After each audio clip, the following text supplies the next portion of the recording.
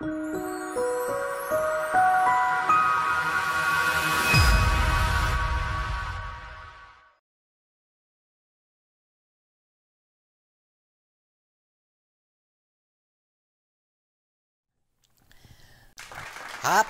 Happy Lord's Day. Purihin ang ating Panginoon at welcome po para po na naman sa panibagong araw po na ito ng linggo saan tayo po magsasama-sama upang atin na namang tuklasin, alamin kung ano po ang uh, masasabi po nating uh, puro ayan, na kalooban ng ating Panginoon. Tungkol po rito sa ating tinatalakay na napakainit na usapin sapagkat hindi lamang po ito mainit na usapin sa iglesia ng ating Panginoon. Sa buong uh, masasabi na natin sa buong uh, mundo man eh napakainit na usapin.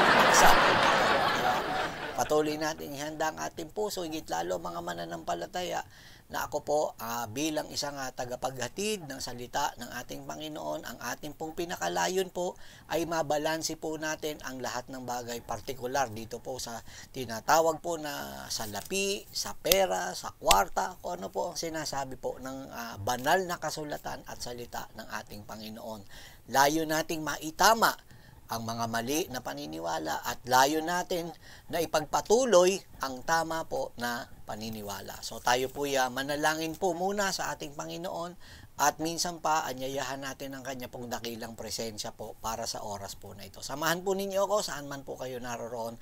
Tayo po ay dumulog at manalangin sa ating Panginoon. Aming Ama, sa ngalan ng iyong anak na si Jesus, muli kaming nagpupuri at nagpapasalamat para sa araw po na ito na ibinigay mo sa amin. Araw, Panginoon, upang malaya kaming makapagpuri, araw upang malaya kaming makapagbigay ng aming pagsamba, Panginoon, at pagluwalhati sa banal po ninyong Panginoon.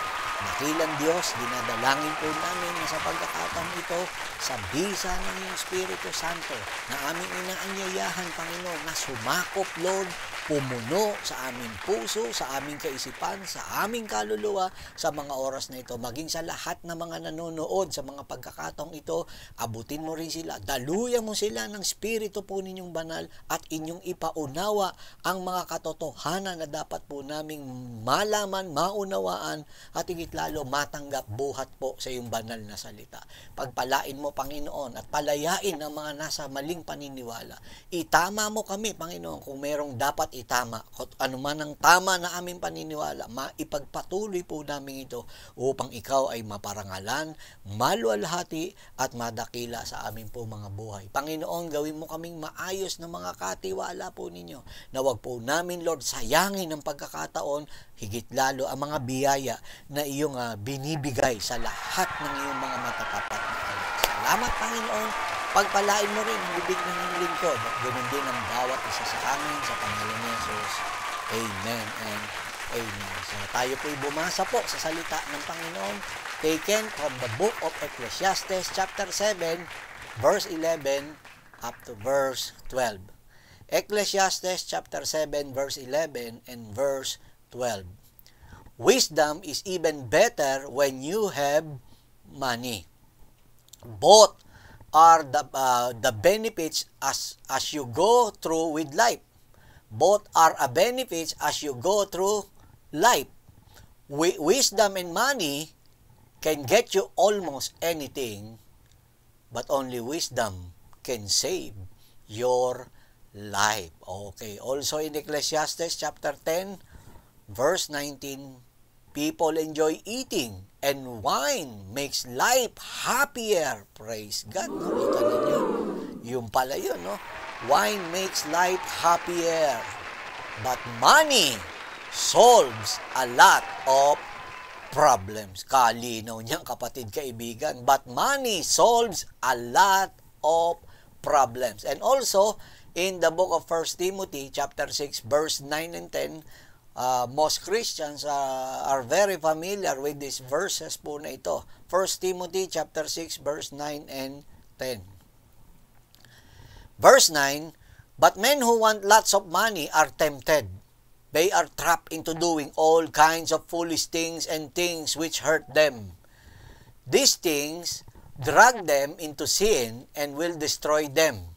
The love of money is the beginning of all kinds of sin, some people have turned from the faith because of their love for money. They have made much pain for themselves because of this. Praise the name of Jesus. Hallelujah to the Lamb, no? Happy, happy Lord's Day po para po sa bawat isa po sa atin. Of course, no? Uh, greetings in the name of our one and only true God, Jesus Christ, the God who manifested in the flesh that He may die, be buried, be resurrected after three days in order to redeem mankind from their sin. And welcome to Jesus Christ, one God, one Gospel Church online service. Welcome, welcome po sa bawat isa po sa atin at ating pong uh, ipagpapatuloy ito pong series na ating pong uh, tinatalakay at pinamagatan po natin In God We Trust, no? Okay, in our first subject po, natalakay po natin, ang paksa po na ito na inun, inuna po rito last February 26, the use, misuse, and the abuse of wealth.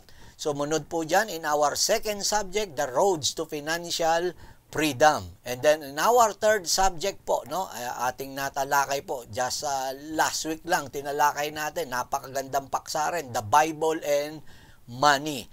And for today, no, sa pagtalakay po natin, ang ating papaksain po ay pinamagatan po natin na wala pong iba the distorted perceptions about wealth and riches. Purihin ang ating Diyos na buhay. So, going back last week sa ating pagtalakay po sa paksa po na the Bible and money, no?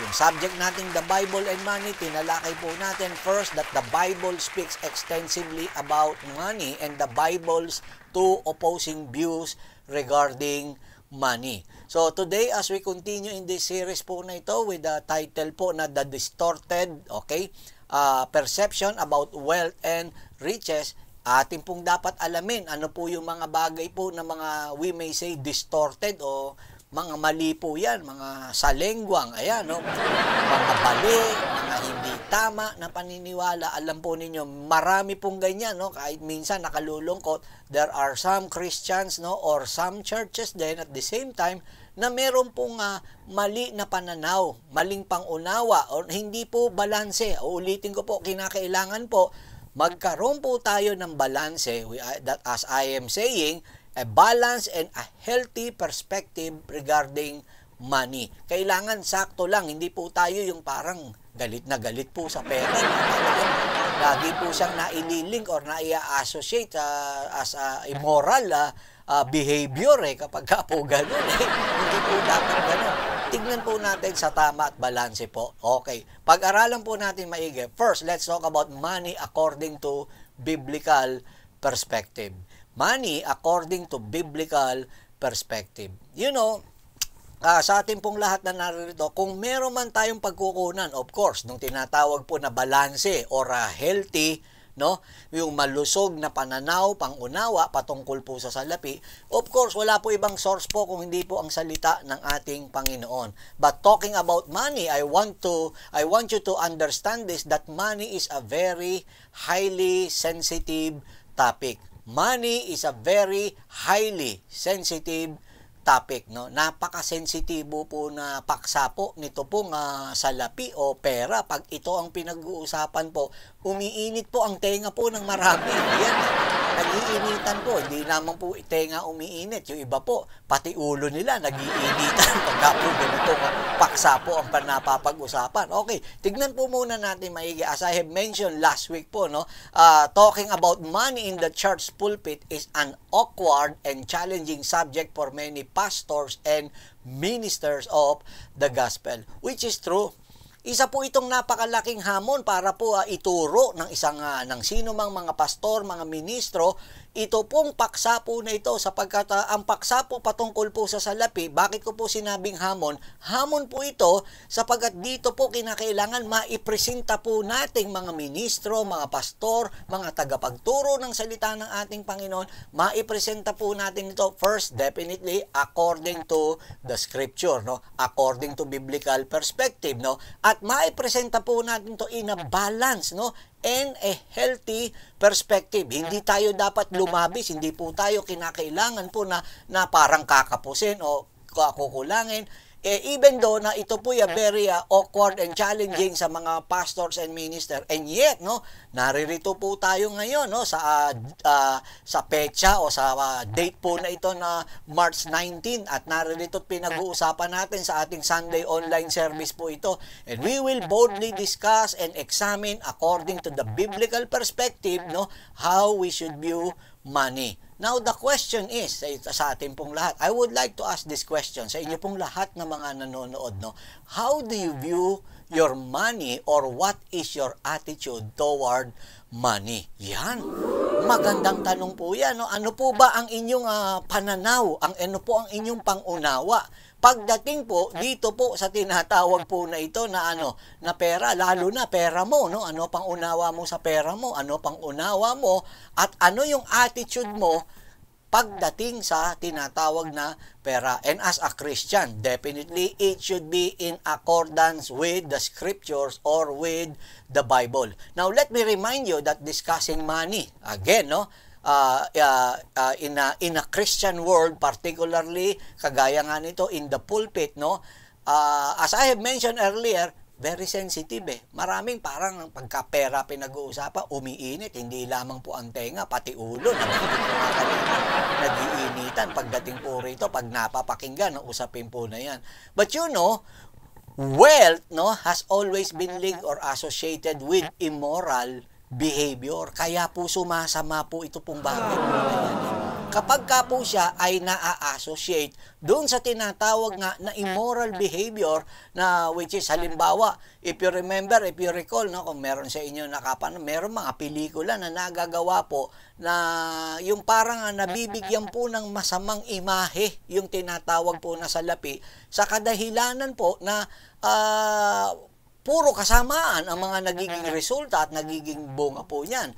And sadly, even in uh, most churches or pastors or ministers of the gospel are viewed that way, no? Yung ganong klase po, kaya nga minsan nakakapagtaka rin, parang ako rin, nakukonfuse eh. Merong iba na mga uh, nananalangin, Panginoon, pagpalain mo po kami. Gusto po namin i-bless mo po, Lord, yung iglesia po namin. Di po ba? Lord, bless mo po kami. Pero pagka pinag-usapan po at uh, na, naipaksa yung pera, parang lumalabas po, yung pera po mismo, ulitin ko po ulit, ah, yung pera mismo para sa kanila, demonyo eh. Yun eh. E paano natin mababa? Nananalangin ka ng pera, ng blessing, pero pagkatapos sasabihin mo, yung blessing na ipinapag-pray mo, ikinu consider mo demonyo. Eh, papa, paano ngayon tayo ngayon yan? Ma, an, anong klase ang pagsagot ngayon ng Diyos sa ating panalangin kapag po ganyan?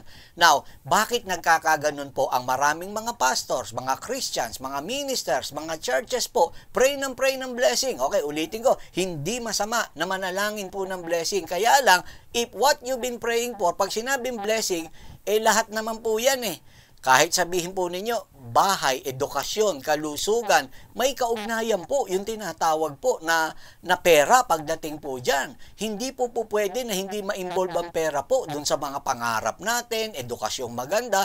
But what if you are considering the money or money as uh, an evil thing no na masasabi po direkta no ba medyo mahirap po kapag po gano no bakit nga nagkakagano as I have mentioned? Okay, let me explain this to you, no? Because uh, for various reasons, kaya po nagkakaganyan, because different people have different perspectives on money. Yun. Kaya po pala yun, no?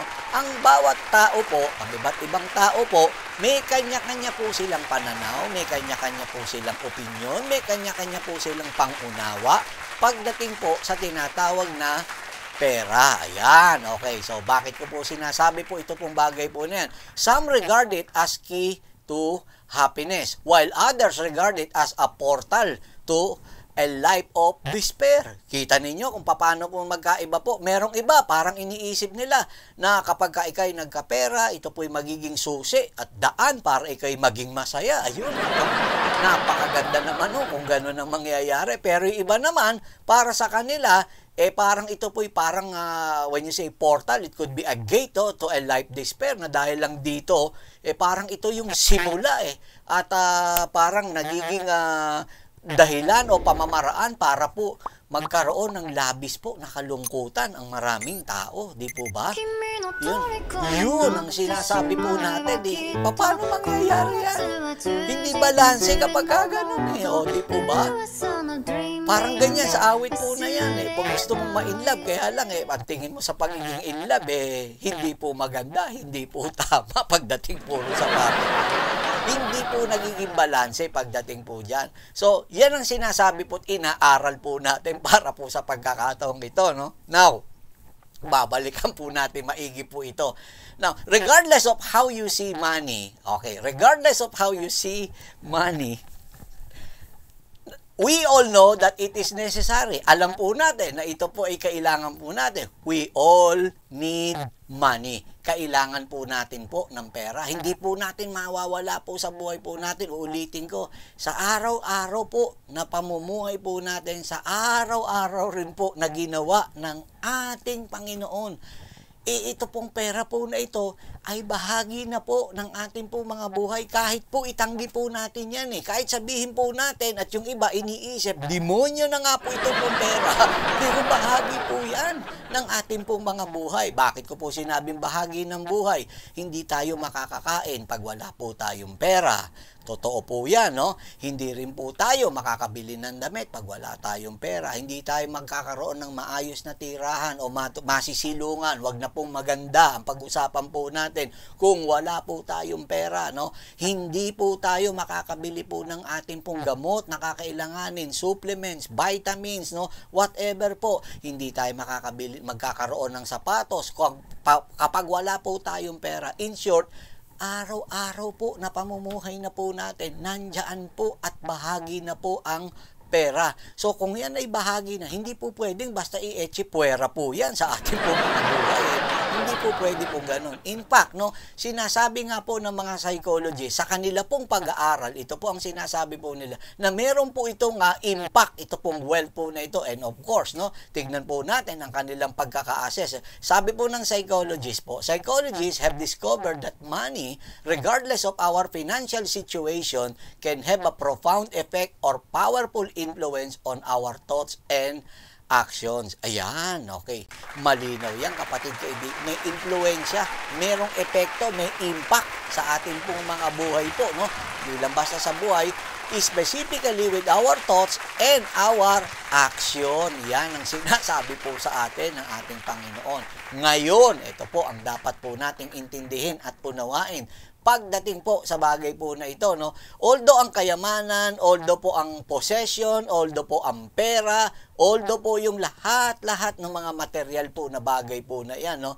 Eh masasabi po natin sometimes eh parang parang bias po yan eh. Kasi parang mangilan-ngilan lang hindi, hindi po ba yung parang mga mga yumayaman at nagtatamasa ng mga lahat-lahat ng yan. Pero alam po ninyo sa current research po na ginawa po ng mga dalubhasa po, no, eh, nakikita po nila, like for example, the income measure, yung occupational status or socio-economic condition po na yan, such as yung educational attainment, no, eh, ito po'y may kaugnayan pagdating sa tinatawag nga po na pera o kayamanan. Totoo po 'yun. Bakit ko po nabanggit po ito pong bagay? Kanina nabanggit ko. Hindi po hindi uubra na mawala sa buhay po natin yung tinatawag po na na pera. Bahagi na ng araw-araw nating pamumuhay ang tinatawag po na pera. At kung i-associate po natin siya, at kung sasabihin mo nga na ang pera ay demonyo, no?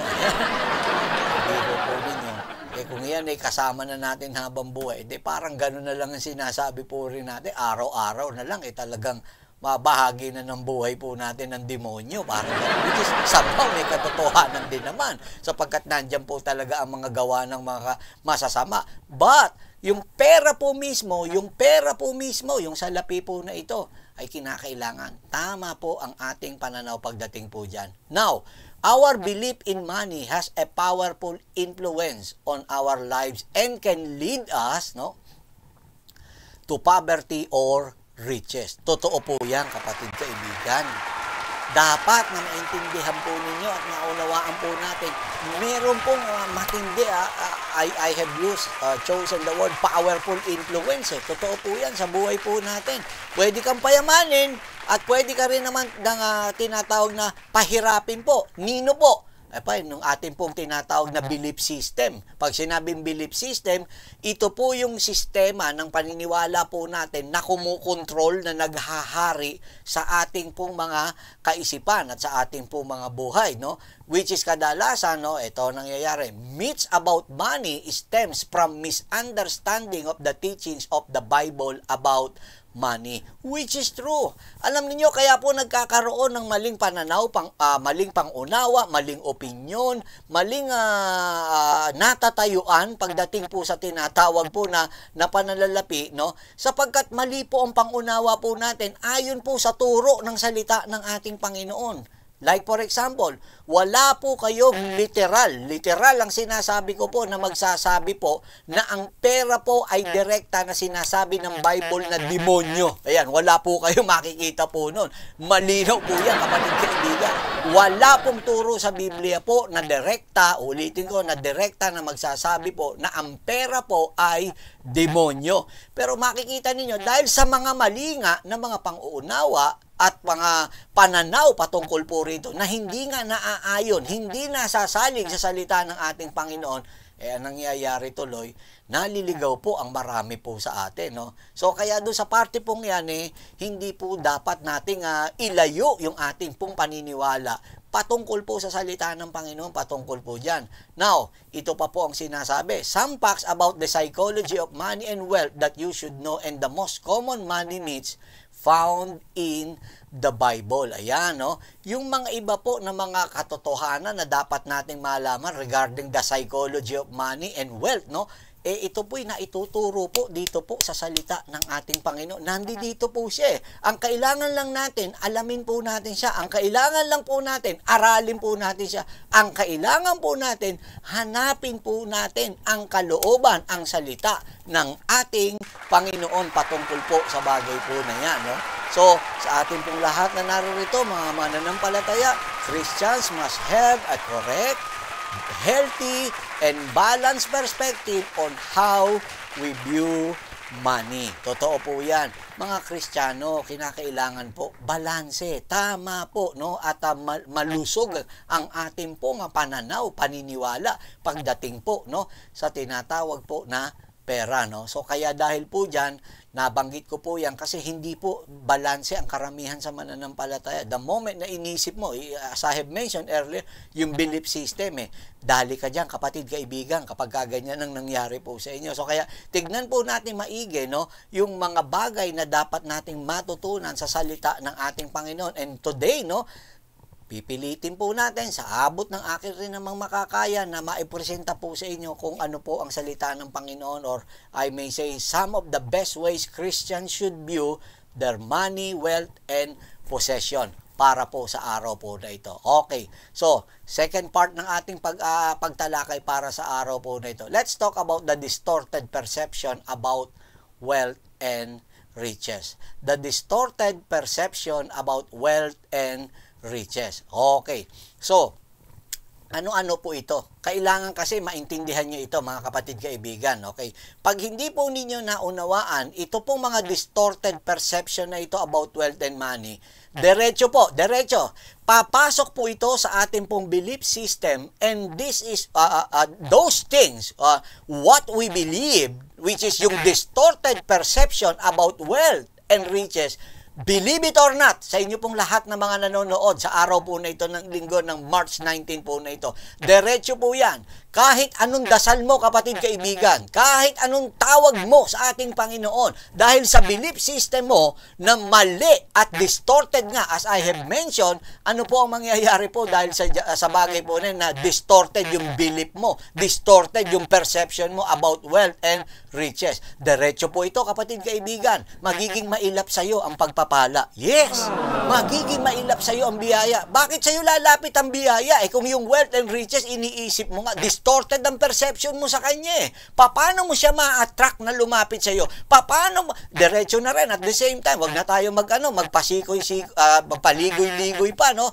Eh paano mangyayari sa iyo na nananalangin ka na ikay pagpalain ng Panginoon kung distorted ang perception mo about wealth and riches? In short, paano ka sasagutin ng Diyos? Eh, yung, yung, kung yung isasagot sa iyo ng Diyos, ang pananaw mo, pangunawa mo, dun sa blessing na hinihingi mo, eh, distorted, as I have mentioned. Yun ang sinasabi ko po ngayon. So, kailangan maintindihan natin sa araw po na to, layon po ng pag-aaral natin para sa araw po na to. Maunawaan natin, maintindihan po natin, ito po mga distorted perception about uh, this, uh, about wealth and riches. Okay, first let's talk about the most prevalent money myths today. The most prevalent money myths today. Ano-ano po ito? Okay, ito po yung masasabi po nating mga distorted uh, perception na which is pumapasok sa ating pong belief system. And the moment it enters in our belief system, i-absorb ng ating pong katawan niya. No? So ano po mangyayari? Dahil dun sa pan, uh, distorted uh, perception po na yan about wealth and riches, kahit ano mangyari, hindi po ito makakatulong, hindi po ito makakabuti po sa kahit na sino po na nananalangin at humihingi po ng pagpapala sa ating Diyos na buhay. Okay, so tignan po natin maigit pag-aralan po natin. First, let's talk about more money. Ito po yung unang-una pong uh, money myths, no? More money equals more happiness. More money equals more happiness. Yun ang siyang matindi po dun sa parting yan. Meron pong ganyan ng paniniwala. Basta ikay maraming pera, ang equivalent po niyan ay wala pong iba, more happiness. Okay. Eh, you know, sa panahon po natin ngayon, maraming tao nag-iisip niyan at inaakala po nila na kapag ka ikaw ay marami po, uh, most people nowadays they've been thinking that way uh, that way no? Na kapag marami kang pera ibig sabihin eh maraming maraming happiness no? In short if if you have more money your life will be happier. Yan. Iniisip po nila yan. Alam nyo kung bakit po nila nasasabi po yan? It is because for some, no, uh, money becomes the measurement of happiness, no? Eh, ito po ba ang sukatan para maging masaya po ang isang tao? Yung pera po na tinatawag? Okay. Alam po ninyo, kapag kaganyan ang pumasok po sa atin, kahit gaano karami po ang pera na mapasayo, kapatid kaibigan, at kung yan ang magiging basihan mo, hindi hindi ka magiging masaya. Bakit po? Hindi po pera po at yung dami ng salapi, dami ng pera po ang magiging measurement para ikaw ay maging masaya. Kaya kung tatanong, totoo po ba ito? Aba, hindi po natin masasabi po ito, no? Uh, the myth that having more money will make us happy, eh, hindi po yan nasasalig po sa katotohanan ng salita ng ating Panginoon. Uulitin ko po, no? Marami pong naniniwala, no? Para po dun sa, uh, sa ganyang klaseng uh, pananaw, opinion, no? Or perspektibo na tinatawag po na, na kapag nakapag-accumulate ka ng maraming pera, maraming kayamanan, maraming possession, maraming pag-aari, ang mangyayari ay magiging masaya ka, no? Pero ang katotohanan po, tandaan po ninyo, hindi ka lalo magiging masaya sapagkat yung yung yung uh, yung yung uh, tinatawag na desire or uh, how shall I say this no not only just the desire eh, kung hindi yung uh, uh, uh, yung, yung matatas mauuwi yung desire mo na mata-turn into greed eh, no to accumulate more wealth kasi ang mangyayari eh, hindi naman Siguradong sigurado yan. Merong makakauna sa iyo. Kaya gusto mo, maunahan na naman at maungusan yung sinong maraming mas pera sa iyo. Ganon ang mangyayari po dyan. In fact, kung tutuusin na makikita po natin, sinasabi nga, kahit nga yung ibang mga uh, mayayaman, nasasabi po nila openly sa mga interviews na ginagawa po sa kanila. Hindi po komo may pera po talaga yung makapagbibigay po ng, uh, ng kasiyahan. Nasasabi po nga po nila that having more money can be very isolating. Wow! Totoo po yun having more money can be isolating. Uh, you look at the some of the interviews nito pong si Alibaba owner na si Jack Ma. Sinasabi niya nga eh, mas gusto niya raw nga nung wala siyang pera in terms ng kaibigan ha. Uh, kasi yung mga kaibigan niya nung wala pa siyang pera, totoo yun eh. Yun yung kasama niya nung wala pa siyang pera, yung mga kaibigan niya na yun. Pero ngayon, nasasabi niya, hindi mo masasabi na lahat ng tao na lumalapit sa iyo ay magiging kaibigan mo. Karamihan sa kanila, kaya lang lumalapit sa iyo, may kailangan sila sa iyo. Karamihan sa kanila, kaya lumalapit sila sa iyo dahil, dahil saan? Meron silang makukuha sa iyo. Hindi mo na ngayon ma, ma, ma parang uh, mai-screen ng todo-todo kung sino talaga yung magiging totoo mong kaibigan pagdating po dyan. That is why uh, having more money can be very isolating, uh, as they say, no? And there is an evidence na talagang makikita po ito, ito'y napapatunayan po that people who prioritize no wealth maximi, uh, maximization maximization are less happy than those who prioritize relationship and experience. Totoo po ito. Ito po uh, base po sa pag-aaral na yung mga tao po na yung masyado nilang pina-priority po yung uh, kanilang pagkakamal po ng pera. Ibig sabihin, inuna na yung pera. Tingnan ninyo, pag inuna na po yung pera, yung pagkakamal po ng pera, ang nangyayari, nagiging kapalit po eh, hindi na nila po na ipaprioritize po yung relationship na makapagbibigay sa kanila ng magandang experience. Kaya nga mapupunan nyo, mas mainam pa nga nung tinatawag na wala pong pera eh. Talagang very, very close, talagang uh, maganda yung, ay, ibig sabihin, very healthy yung relationship. Ang ganda eh nung wala pa pong ganong karami. Pero nung pumasok na po, yung dami po ng pera, ayan, napabayaan naman po yung tinatawag po na ano na relationship yung mga experiences no? Hindi na dapat magkaroon ng magandang karanasan eh. Kaya lang hindi pa po nagkaka hindi nagkakaroon nababawasan po ng magagandang karanasan definitely. Bukod ron ito rin po ang sinasabi po ng mga ng mga eksperto pagdating po diyan many millionaires ito po ah many millionaires and lottery winners are unhappy. Pambihira milyonaryo at lottery winners unhappy pa or hindi masaya? Because, bakit? Because they can buy whatever they want and are still unsatisfied. Yun ang sa party pong yun, no? Isipin ninyo, pwede mong mabili ang lahat ng gugustuhin mo pero hindi ka masisiyahan. Parang lumalabas, eh, nagiging parusa tuloy yung bagay po na yon. Bakit po? Yan ang sinasabi ko. Pagka po hindi po hindi po tama, hindi ta, hindi balanse at hindi po uh, masasabi po nating malusog ang pangunawa at pananaw patungkol po sa biyaya po na yan ng ating Panginoon ay hindi po magi, makakabuti po yan. Pangalawa po, ito po no, isa pa po sa prevalent uh, money myths today no. Una po, yung tinatawag nga po natin money, more money equals more uh, happiness no. Pangalawa po, ito po, more money equates to a greater security. More money equates to greater security. Okay, no? So, ibig sabihin, more money equals more security. Parang ganun lang po yan. Now, one of the biggest money myths is that uh, with more money, with more cash na meron ka, comes more security.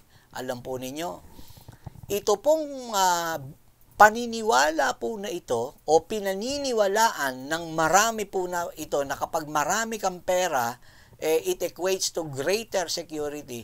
Ito po'y pinakawalan po ng mga tinatawag po ng mga financial gatekeepers. When you say mga financial gatekeepers, ito po yung mga tinatawag rin ng mga professional advisors no, nag nagpo-provide ng uh, financing uh, uh, in solutions no uh, between institution and investors at company. Yan po yan eh. Ibig sabihin sila yung nagpakawala ng ganyang paniniwala that if you if you have uh, if you obtain uh, more money ibig sabihin you, you, you have this greater security pagdating po ron. Parang uh, lumalabas shielded ka eh. That you are protected pagka marami kang uh, pera na tinatawag po na yan eh. You know ito pong dapat na maintindihan po natin. Money helps people cope with some hardship. Totoo po yan. But it can protect us from illness, loss, loneliness, burnout, and climate change.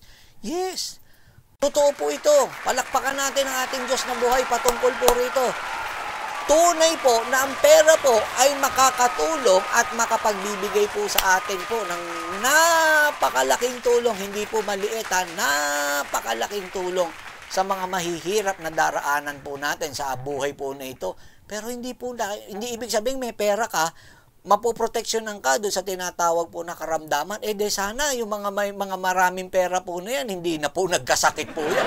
hindi tinablan. Gustong gusto po nila yan.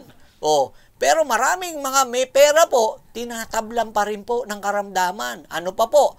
Meron po mga may pera, maraming pera po sila. Pero isipin po niyo, sa kadami-dami po nilang pera, lungkot na lungkot sila sa buhay po nila. Uh, yamot na yamot sila sa buhay po nila. isipin po niyo. Ganun ang nangyayari. So, hindi ibig po sabihin na meron kang pera, eh talagang hindi ka naaabutin, mapoproteksyonan ka from what I have mentioned, sa sakit o sa karamdaman, sa kalungkutan, sa pagka-burnout, or even climate change. Kita nyo, hindi maresolba. Sobrang yaman ng buong mundo po na ito, pero hindi po maresolba ang problema po pagdating po dyan. At kahit napakarami pa po, no, na pera po nila sa bangko, hindi po yan magka, makapagbibigay nung tinatawag na protection from what I have mentioned earlier. Okay, ano pa po? Ito pa, pangatlo po, no, na prevalent na money myths today. Ano po yung pangatlo? More money, more money equals more peace and tranquility. Ulitin ko po ulit. More money equals more peace and tranquility or tranquility. Alin po dyan? Parehas po. Both are correct, no? Uh, ibig po sabihin po niyan, akala nung iba, kapag ka marami kang pera, sang malmal ang kwarta mo sa buhay, ayan, no? Eh, ikay magkakaroon ng tinatawag na kapayapaan and na and na tranquility or tranquility na tinatawag. I remember no mai-share ko lang po sa inyo during the peak ng career po nito pong si Elvis Presley. Isipin nyo, peak na po yung career po niya. Ibig sabihin, napakasikat niya, sobrang sikat niya, uh, napakarami niya pong pera, napakarami ng lahat na kaibigan ng luma. Ibig sabihin, parang lahat nasa kanya na eh. But you know, uh, Elvis confessed, no? Uh, in one of his interview, nasabi niya po, I am very much willing to pay 1 million dollars if I if only I could have the peace that I've been longing. Ano ibig po sabihin po nun? Gusto niya raw eh, na maranasan po na ano, na magkaroon ng kapayapaan at willing po siya na magbayad, magbigay po ng milyong dolyar, magkaroon lang ng kapayapaan. Isipin po ninyo, Anong ibig po sabihin niyan? Hindi po assurance, hindi po security, hindi po masasabi po nating kasiguruhan na kapag ka ikay may maraming pera, eh ikay magkakaroon ng kapayapaan. Because money does not eliminate anxiety. Rather, it provides you with something else to worry about. Ano po yun? Losing your money. Wow! Nakakalungkot kita. Yan ang takot ng mga may pera. Makinig po tayo. Yan ang takot po ng mga may pera. Yung mawalan po sila ng pera. At yan naman ang hindi ikinatatakot ng mga walang pera. Yung bawalan sila ng pera. Walang takot po yung mga yan dahil wala namang mawawala po sa kanila. Okay dun sa bagay po na yan. So, kaya tayong po lahat na naririto, hindi po ibig po sabihin na that you are sheltered, no?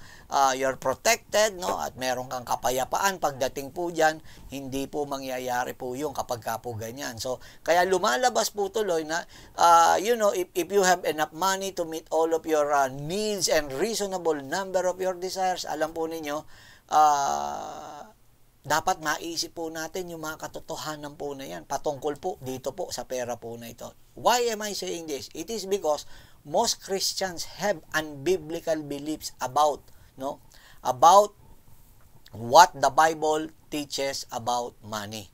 Most Christians have unbiblical beliefs about what the Bible teaches about or regarding money. Ano ang tanong? Ano pastor, no? Pama, ano itong mga unbiblical beliefs na ito? Okay. So, I have mentioned earlier yung tinatawag po na mga prevalent na mga uh, money myths nowadays, ito naman, pag-aralan natin yung mga unbiblical or unscriptural belief ng mga Christians. Ha? Take note, ha? Christians ang naniniwala po rito. At ang nakalulungkot, mga Christian sila, pero unbiblical yung paniniwala po nila. Unscriptural yung kanila pong mga pananaw. No? Ibig sabihin, yung mga misconceptions po na ito, which is, uh, ito po ya, how shall I say this? Ito po yung nagpupulyot at kumukurap sa isip po ng mga mananampalataya, ng mga naniwala sa ating Panginoong Yeso Kristo, that, uh, that leads them na para sila po yung maging, uh, uh, how shall I say this? no yung mga uh, makapag makagawa ng tinatawag na mga stupid decision and then at the same time no sila po yung mga maging judgmental and, and magkaroon ng critical attitudes po doon sa iba okay bakit ko po nasasabi po ito tignan po ninyo ah ito po yung mga unbiblical no beliefs ng mga mga Christian Christians ha okay ang tinatawagan ko po rito mga Christians po ang na, tinatawagan po natin na merong unbiblical belief. Okay, ano po ito po mga unbiblical belief na ito? Number one, ito po ha. Ano po ito? Money is the root of all evil. Money is the root of all evil. Ano ang ibig po sabihin niyan? Ang salapi daw po ang ugat ng lahat ng kasamaan. Yan. Totoo po ba yan? Yung bagay po na yan na ang salapi ang siyang ugat ng lahat ng kasamaan? Biblical po ba yan na ang salapi ang ugat ng lahat ng kasamaan? Alam po ninyo, marami po Christians ha, ang napaniwala po at pumasok yan sa belief system po nila no uh, that the material wealth is corrupt or corrupted in some ways. Pero alam po ninyo, It is not the material wealth. Tandaan po ninyo, ang lumalang ng lahat ng bagay na nandito sa mundo, ang Diyos. Ang Diyos ang gumawa. All of the material wealth, material things na nandito po, including the possession, the wealth, the money, no? uh, whatever the currency man na meron tayo sa panahon, ang lahat po niyan, ang pinanggalingan po niyan, ang Diyos po na lumikha ng lahat ng bagay. Na, baka nakakalimutan po ninyo yung bagay po. At yan ang isang malaking katotohanan na dapat na, ma, na mailagay natin sa ating pong kaisipan. Pero tingnan po ninyo, ang salapi po ba ang siyang ugat ng kasamaan, ng lahat ng kasamaan? Balikan natin yung binasa po natin. 1 Timothy chapter 6 verse 10 in NLB translation or New Life Version na sinasabi po, Is the money the root of all evil? Ito po ang sagot. The Bible answers, The love of money is the beginning of all kinds of sin. Yun ang sinasabi po. The love of money is the beginning of all kinds of sin. Yun ang binabanggit po. Pakibalik lang po natin, direct, no? Some people have turned from the faith because of their love, no? Because of their love for money. They have made much pain for themselves because of this. Ano ang ibig po sabihin po nito pong bagay po na to? Yung tinatawag po na ang pag-ibig sa salapi ang siyang ugat ng kasamaan. Yun ang siyang malinaw. Yun ang biblikal. Yun ang scriptural. Ano po yun? Ang pag-ibig sa salapi. Hindi po yung ang salapi, no?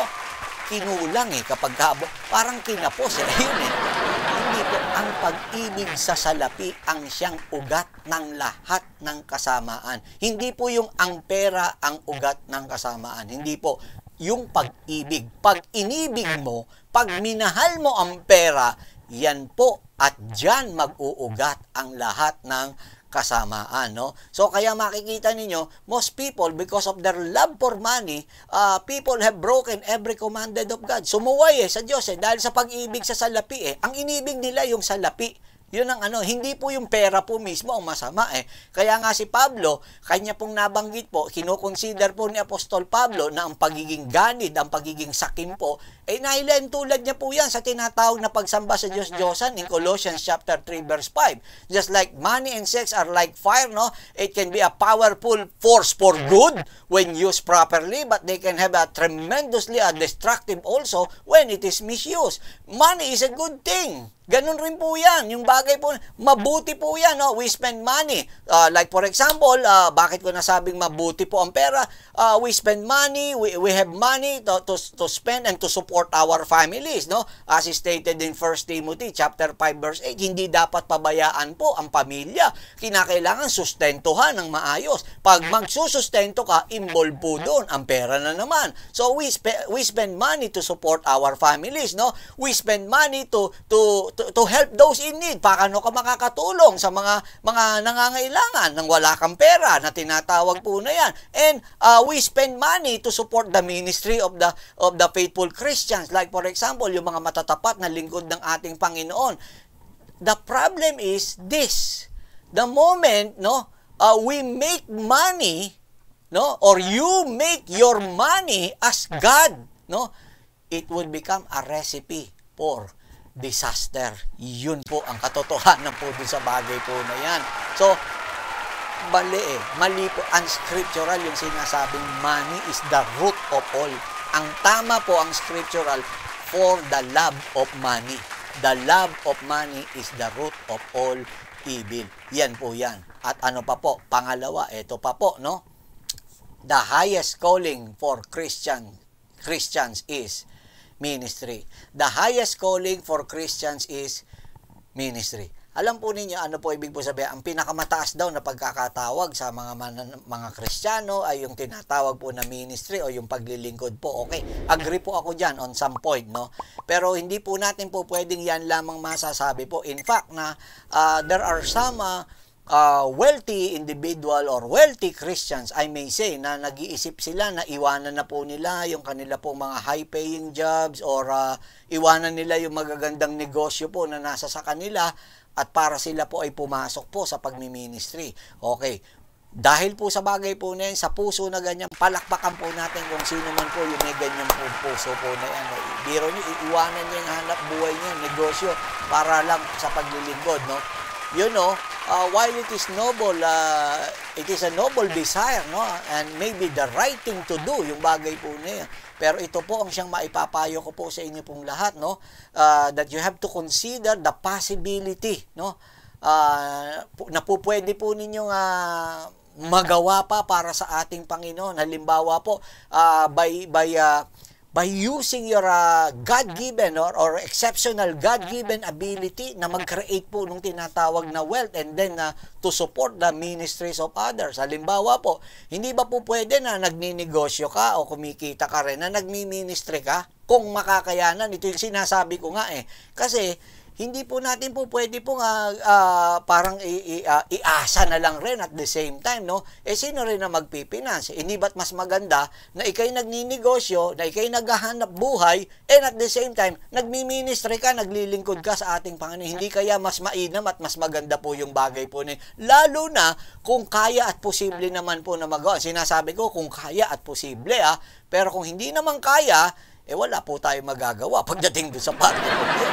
Eh, tignan po natin, dito po sa Bible po, no? Si Jesus Christ po, baka nakakalimutan po ninyo, kaya po nakapag-ministry si Jesus Christ, yung mga alagad, yung mga apostoles po, suportado po ng maraming babae. Maraming babae po. Yes, oh, di po ako nag Maraming babae po ang sumusuporta po kay Jesus Christ at pati po doon sa kanya po mga alagad para po sa kanila pong uh, uh, pagmi-ministry po. And take note, ha, hindi po sila basta babae, mga mayayaman na mga supporters ni Jesus Christ. Basahin po natin in two different translations. Luke chapter 8 verse 3. Luke chapter 8 verse 3. Ito po ang sinasabi po, Joanna, whose husband Kusa was Herod's administrator, Susanna, and many other women. Ayun na, maraming mga babae pa. They provided financial support. Hallelujah.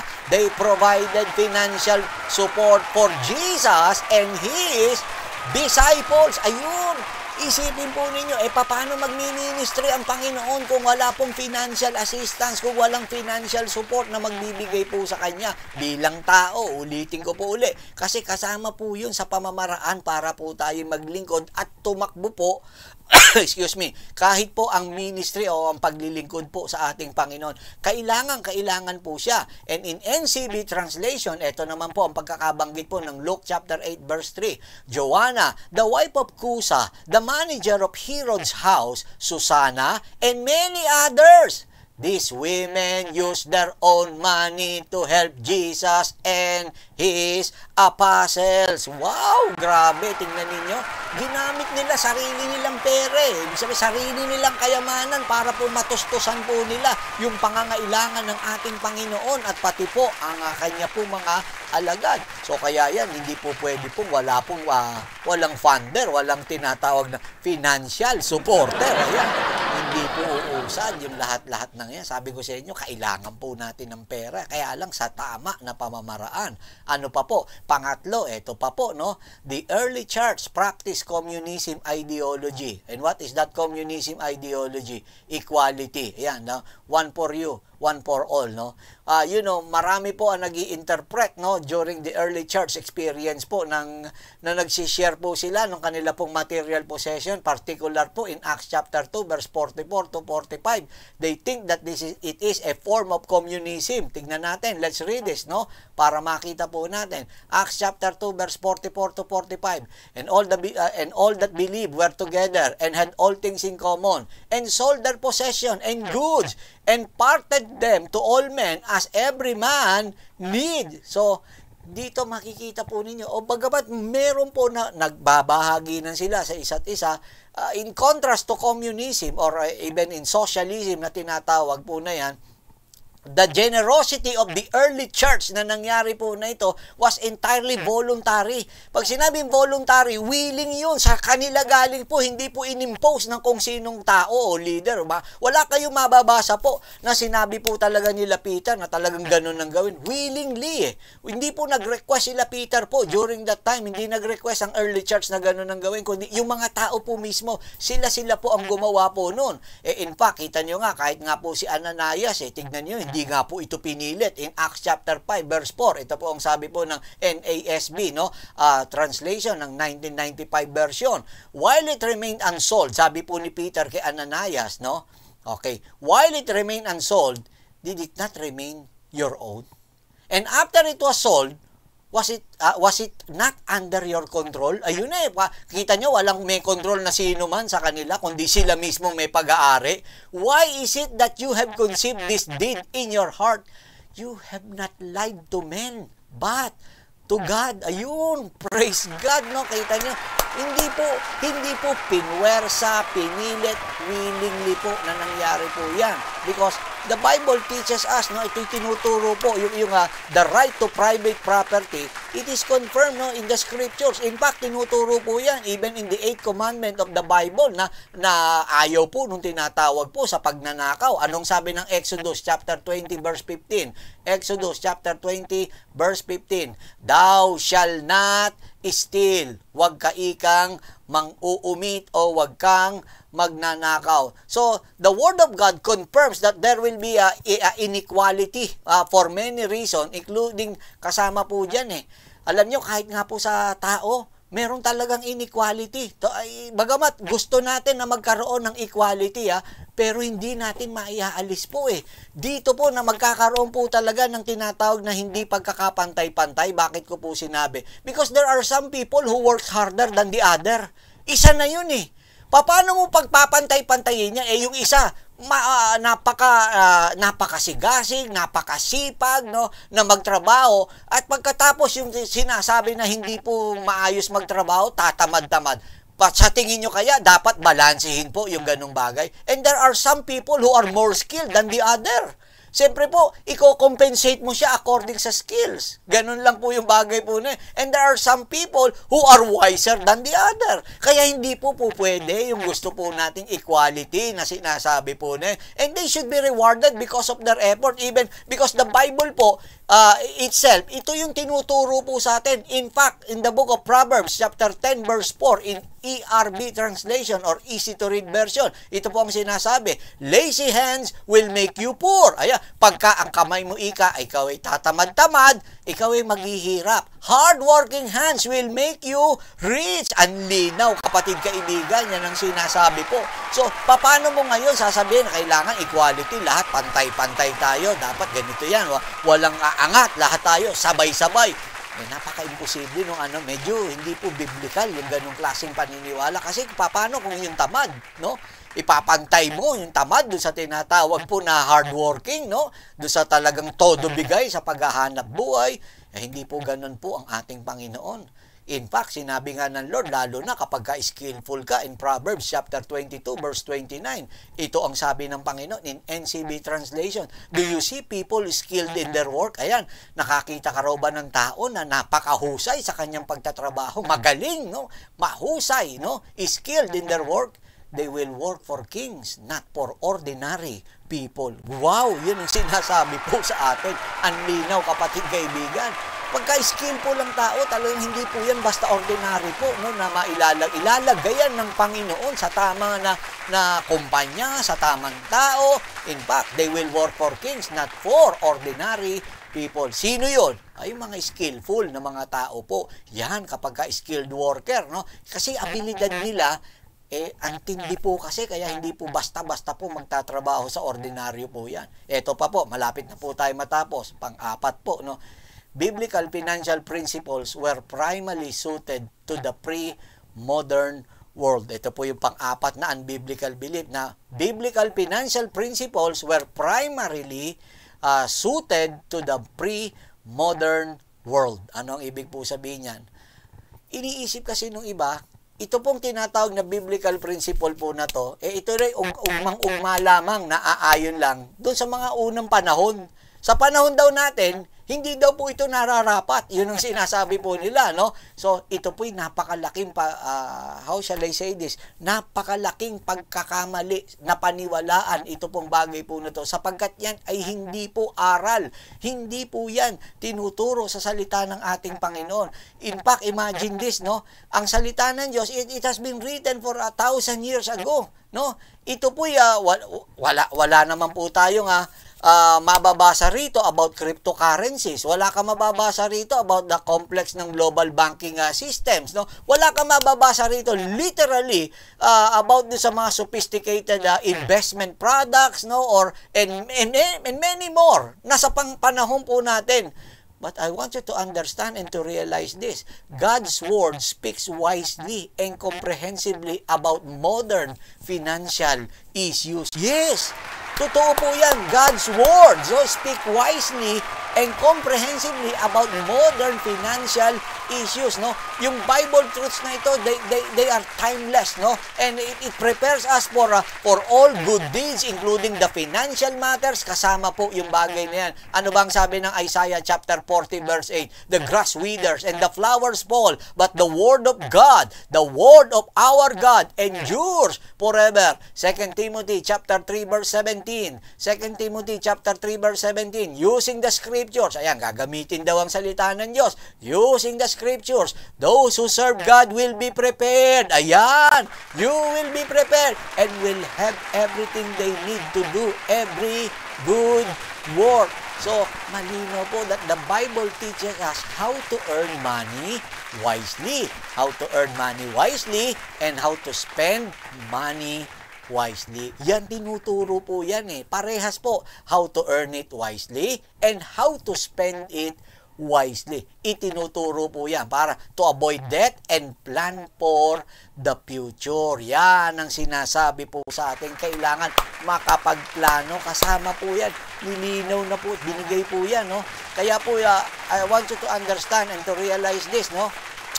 those who are arrogantly ignore God's words uh, or God's wisdom revealed in the scriptures usually they are the ones who severely suffer no? The consequences no? Kagaya ng sinabi ko ano inihasik mo yun ang aanihin mo yun ang sinasabi po ng salita ng ating Panginoon. So kapag ka inignore mo yan eh talagang magsasuffer ka ng consequences uh, most importantly, ito po dapat natin maintain. God's Word, the Word of God, the Word of the Lord teaches us how to have the right attitude about finances. Bakit ko po sinabi na dapat magkaroon tayo ng tamang attitude about finances? Matthew chapter 6 verse 19 to 24. Let's read this very quick, no? Okay. Don't store up treasure here on earth where moths eat them and rust destroy them, and where thieves break in and steal. Store your treasures in heaven where moths and rust cannot destroy, and thieves do not break in and steal. Wherever your treasure is, there the desire of your heart will also be. Your eyes is like a lamp and provides light for your body. When your eye is healthy, your whole body is filled with light. But when your eye is unhealthy, your whole body is filled with darkness. And if the light you think you have is actually darkness, how deep that darkness is. Verse 24, no one can serve two masters, for you will hate one and love the others, and love the other. You will be devoted to, to one and despise the other. You cannot serve God and be enslaved to money. Yan ang sinasabi po ng salita ng ating Panginoon. Kalinaw-linaw, kapatid kaibigan. Hindi bibigay ng aral ng Panginoon po ito. Kaya ito tinuturo po sa atin. Kaya binigay niya po itong aral na in Matthew chapter 6 verse 19 to 24 para mabalansi po natin. O, kita ninyo, pinaalahanan nga ng Panginoon sa pamamagitan ni Apostol, Apostol Pablo in the book of 1 Timothy chapter 6 verse 17 to 19 ang mga mayayaman no uh, basahin niyo na lang sa inyo po mga tahanan yan pinapaalalahanan sila na mayroon silang pagkakataon para po na makapag-impok ng kayamanan sa langit eh. Kapag gamit po ah yung earthly uh, possession po na yan na tinatawag or money po na yan. And lastly ito po yung ano mga unbiblical the fifth unbiblical beliefs no ng mga maraming Christians. Ito po yung panlima.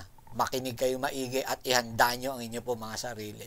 Those who believe in God do not need to worry about their financial future Wow! Those who believe in God do not need to worry about their financial future. Grabe po ito. Para po itong, uh, uh, paano, paano ba natin itong sasabihin? Fearless. Ayan. No? Pagka ikaw naging mananampalataya, fearless ka. No? Pagdating doon sa tinatawag ng mga financial uh, uh, problems in the future. Dahil ikay believer, huwag mong alalahanin ika yan. Yun yung mga sinasabi. Huwag mong alalahanin yung kinabukasan. Huwag mong intindihin yan. Grabe, tingnan natin. You know, some uh, some Christians erroneously believe that they do not need to save money for future. And ito pa ang nakakalungkot. Yung iba po, kinokontra pa po nila yung pagbili po nung tinatawag na insurance, no? O yung tinatawag, yung iba nga, takot nga bumili po nung tinatawag na mga, uh, yung mga policy po about uh, mga, uh, mga St. Peter, ayan, no? takot na takot sila kumuha ng memorial, at kinatatakutan po nila yan eh. Actually, wag po kayo mag, wag, mag, wag po kayo mabibigla, no? God's Word encourages us to plan for our future financial obligations. Paalala po yan sa atin, pinapaalalahanan po tayo. Bakit ko po sinabi? O tignan po ninyo, in Proverbs chapter 21 verse 5, no? in NLT translation. Proverbs chapter uh, 21 verse 5, NLT translation. Good planning. O, sapul na sapul ba? Good planning. Yan ang sabi pong ganon. Good planning. Mm.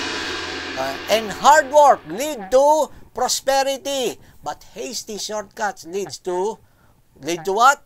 Poverty. Yun ang sinasabi pong ganon. So, listen to this, no? It is wise to, pre- to prepare for future expenses, no? Ano-ano po yan? Such as retirement or a major purchase, no? Kinakailangan po yan. Mahalaga po yan. Hindi po pwede na hindi mo paghahandaan. Halimbawa, yung kinabukasan, hindi mo pag-iipunan po. Eh, tinuturo nga po sa atin ng Panginoon, good planning and hard work leads to prosperity. Pagkatapos, hindi ka magpaplano. Napakahirap ako po bilang pastor. Ang dami ko na pong na, nasaksihan sa sarili ko po mga mata ng mga nagka-problema po. Lalo na sa mga nagkasakit po dahil hindi po nila napaghandaan po ng lubos-lubos yung mga yan. Yung iba nga namatayan. No?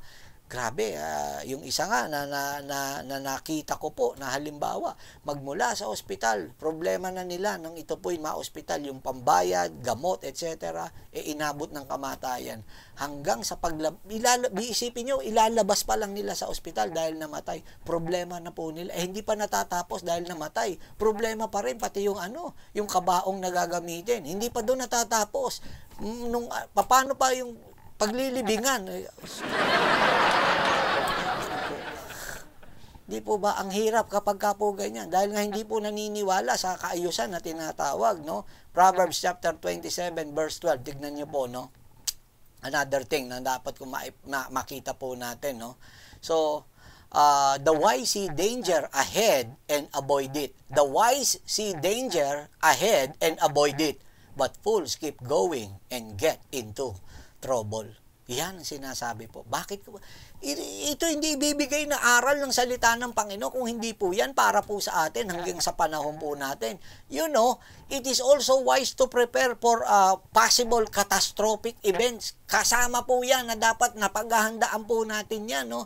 Uh, which which I believe yan po ma-justify po para yung tinatawag po na pag-purchase po ng tinatawag po ng mga mga insurances po na yan ang sinasabi ko nga kumuha na po kayo humanap kayo hindi ko lang naman na ituturo yung St. Peter ang alam ko nga meron pang St. Andrew ayan o hanapin niyo po yan paano po no hindi po ako nag endorse po rito hindi po ako binayaran ni St. Peter po rito ayan o eh kung po pwede lang, eh di, beke naman, no? Di po ba?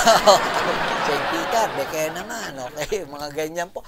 Pero kailangan na mapaghandaan yung mga bagay po na yan ay tinuturo po sa atin ng ating Diyos na buhay. And in other translation, in the Living uh, Bible translation ng Proverbs 27.12, basahin po natin. Tignan niyo ang sabi, a sensible, when you say a sensible, a wise man, a wise man or a sensible man watches for problems ahead. Yun! And prepares to meet them. Grabe, kita nyo. Hinaharap. Ayan. Hinaharap eh. Ayan. Hinaharap nila, no? Pero sabi, the simpleton never looks and suffer the consequences. And suffers the consequences. Napakahalaga, kapatid kaibigan. No? Tandaan po ninyo, yung pag-iipon, paghahanda para sa kinabukasan po na yan, or you may be purchasing insurances, it can be a ways para maiparamdam po ninyo yung pagmamahal po ninyo sa kung sino mang minamahal nyo po. Eh, isipin po niyo, di po ba kung mahal niyo yan, dapat eh, huwag niyong pabayaan na mag-iisip sila. Kasi iba, merong ang katwiran, ang utak, ganito. Eh, patay na ika ako. Wala na ika akong pakialam dyan. Di ko na alam. Bahala sila dyan. Todas na ako. Ano pa gagawin ko? Mali yung kapatid kaibigan kailangan siguraduhin po natin na kahit na sabihin mong uh, nategi ka, ayan, no? Natodas ka, yung mga iniwanan mo, eh, payapa naman na hindi nila iisipin yung pang-ataol mo, di po ba? yung, yung pang-kape, pang-biskwit sa lamay mo. Hindi nila isipin yun, yung paglilibingan mo, iba sinasabi, huwag niya nakaintindihan, ibalot niya na lang ika ako sa banig, ayan, tapon niyo ako sa ilog, akala mo naman po pwede yung ganun eh, pero puro problema binibigay pa po natin kapag gaganyan. Kasama rin, pati po yung uh, in the event of major medical expenses, kaya nga ngayon, dapat pilitin po na magkaroon po talaga ng health cards, ang napakarami po, kasi malaking tulong po yung bagay po na yan, no? So, sa ating pong lahat na naririto, many considers uh, Jesus to have made the worst financial mistake ever. Bakit ko po siya? Alam niyo, may nag-iisip na ganyan kasi yung ginawa ng Panginoon na kanya pong namatay po siya sa, para po sa atin, no? You know, itong aral po ng Proverbs po kasi pagdating diyan, Proverbs 22 verse 26 to 27. We're about to finish. Promise, no? Okay, ito po ang sabi pong ganun. Don't promise, ay, wiro mo, pra, pa-promise ako eh, kasasabi lang, don't promise. don't promise to pay what someone else owes and don't guarantee anyone's loan. If you cannot pay the loan, your own bed may be taken right out from under you. Yan ang sabi pong ganon. Huwag ka raw mag-garantor eh. Yun ang sinasabi. Dahil pag nag-garantor ka, ikaw ang magbabayad sa kanilang utang. At ito ang ginawa ng ating Panginoon. Biro nyo, nung mamatay ang ating Panginoong Iso Kristo para po sa atin. Actually, tayo nagkasala eh. Tayo nagkamali eh. At dahil tayo nagkasala at nagkamali, Isipin po niyo, ang Panginoon ang nagbayad. Grabe ang ginawa ng ating Panginoon sa Kristo para dahil sa pagmamahal niya sa iyo, kapatid kaibigan.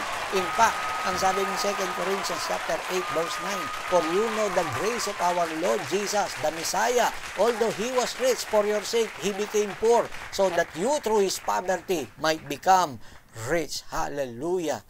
To the name of Jesus, no? Praise God, no? Hindi lang po tayo uh, binayaran ng Panginoon ang ating pong mga mga utang, ang ating pong pagkakasala po na yan, hindi po doon nagtatapos po dyan. Sapagkat yung kanyang katwiran, ibinigay niya po sa atin. Kaya hindi na po ang sarili nating kasalanan po na yan ay napawi dahil po ang katwiran ng ating Panginoong Yeso Kristo, the righteousness of Jesus Christ, yan po ang siyang nasa sa atin po ngayon. So, yan po ang ating pag-aaral para po sa araw po na to at hari nawa, tayo po yung napagpala ng ating Diyos ng buhay. Medyo humaba man tayo ng konti, pero kinakailangan natin matalakay yung bawat mga detalye po ng ating pong pinag-aralan para po sa araw po nito. To all the members of this church, friend churches, followers, and YouTube uh, subscribers po natin na ito, uh, and yung mga patuloy nating walang sawa na sumasama po sa atin every Sunday, pati po yung Thursday din po natin. Ito po ang ating inaral para sa araw po na ito. Uh, I hope it was a blessing sa inyo pong lahat. No? Ito pong tinatalakay natin at hari nawa maging lubos na pagpapala po ito sa atin para wag nating maitaboy no? yung blessing, yung biyaya po na yan. No? So God willing po no? at uh, magpapatuloy po tayo by next week. No? Ito announcement po, special announcement po natin po. No? Uh, this coming Thursday, of course, meron po tayong pagtalakay. Ang tatalakayin po natin, napakagandang paksa po, The Soul Winner's Joy. Praise God. No? Ayan, Soul Winner's Joy. Ang siyang tatalakayin po natin this coming Thursday po na ito. And next Sunday po, no, sa pagpapatuloy po natin, no, uh, nais ko po, special announcement, makinig po tayo maigi po, because this coming Sunday, ang ating pong face-to-face service po ay gaganapin po sa alas 9. Alas 9 ng umaga. Okay. 9 a.m. po. Ulitin ko po uli. 9 a.m. alas 9 ng umaga po. 9 a.m. alas 9 ng umaga po. Ayan. Sa The Excelsior Hotel. Baka may pumunta po sa inyo ng alas 3 po ng hapon. Huwag kayong pupunta ng alas 3 sapagkat 9 a.m. po. Ah, 9 a.m. alas 9 po ang service po natin na face-to-face this coming Sunday po sa The Excelsior Hotel. At ang atin naman pong online service po, ito po, iminub din po natin po ng oras dahil umaga po tayo. Ito po for the first time na gagawin po natin. Ang ating pong Sunday online na service po ay daraos po natin sa oras po na alas 7 ng gabi. So 7 p.m. po ang ating pong Sunday online service at ang tatalakayin po natin next week. Yan po, napakaganda po. Ayan, isa na namang napakaganda at napakahaba din na pag-aaral po. No? The Contrast. Yan, ang title po natin. No? So, maraming maraming salamat po. Well, that's the word of the Lord for today here in our Sunday online service until next week, no? God willing, this is Pamay speaking for Jesus Christ, one God, one gospel church saying, Baruch haba Bashem Adonai. God bless you. See you next Sunday sa ating face-to-face service.